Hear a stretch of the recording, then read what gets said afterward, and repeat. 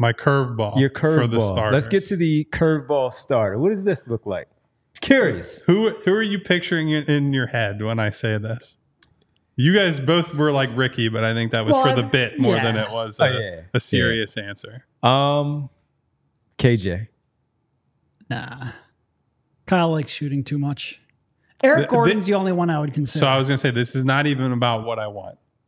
Uh, don't shoot the messenger here, everyone. He's going Andre Drummond. you're going. No. You're going Kyle. No, I, you were on it. It's Eric Gordon. Okay. I think there is a non-zero chance that Eric Gordon starts. Yeah, I agree. He, was- he, like I said when I started this, there was a, a sixth, six people that I would consider. Yeah.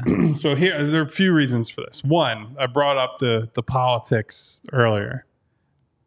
Eric Gordon declining his option and then being one of the very first minimum or not the low value contract guys that they signed.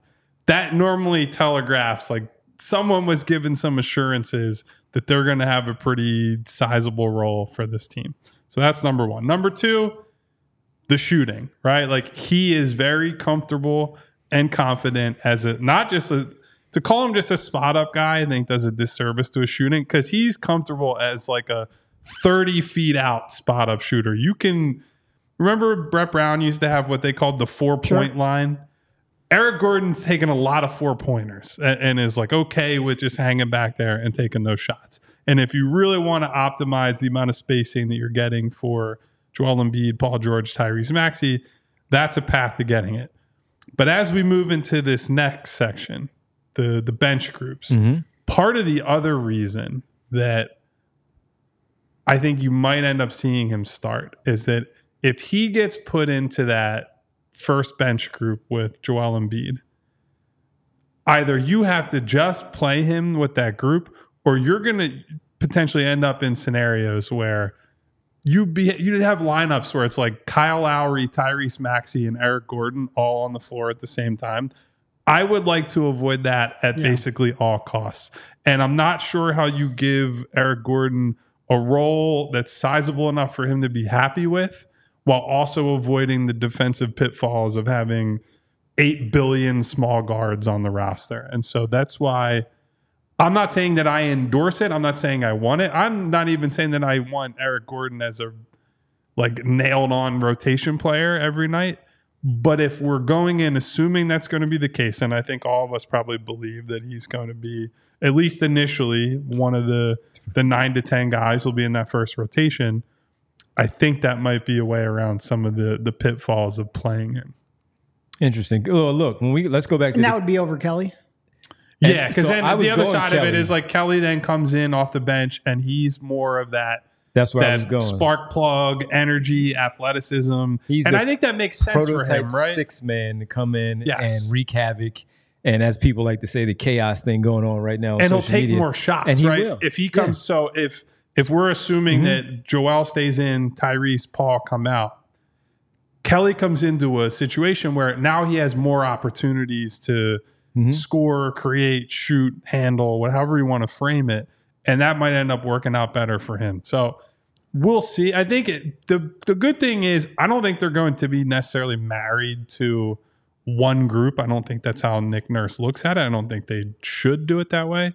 But I just wanted to throw that out there as something I've been thinking about over the last couple or weeks of so, couple of weeks or so as this roster has shaken out. Yeah, so the Kelly piece is the one that I go back to Melton, I go back to Oubre when we would discuss them last season. I think ideally in their perfect roles, they are guys that come off the bench and do their work. And I, I still think that Kelly Oubre is that. The only thing when we talk about this specific roster and, and the construction and the lineup that we put together already, it's because of what he did show us in the mm-hmm. big spots there. Once Melton was out, Kelly Oubre maintained that he didn't lose it because we kept waiting. All right, somehow, some way, he's going to lose it and he's going to be back on the bench. But Nick Nurse stuck with him, and even in the postseason when Kyle Lowry was starting and you needed some more scoring off the bench, they couldn't find it from anywhere. Kelly Oubre was still in that starting five, so he did it enough where, at least for right now, the Eric Gordon thing is intriguing for the shooting and all of that, and the balance of the rotation to make things look much better with Embiid on the floor.